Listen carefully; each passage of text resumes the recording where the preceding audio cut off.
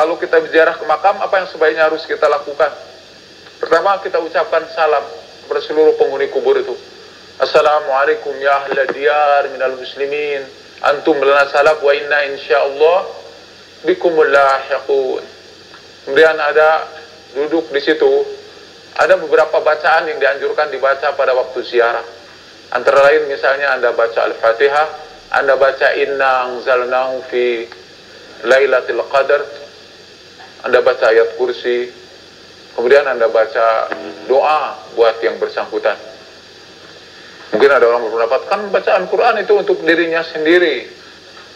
Boleh, bisa juga untuk diri sendiri. Bisa juga Anda hadiahkan kepada orang yang ada di dalam kubur itu. Apakah boleh duduk di atas kuburan? Boleh.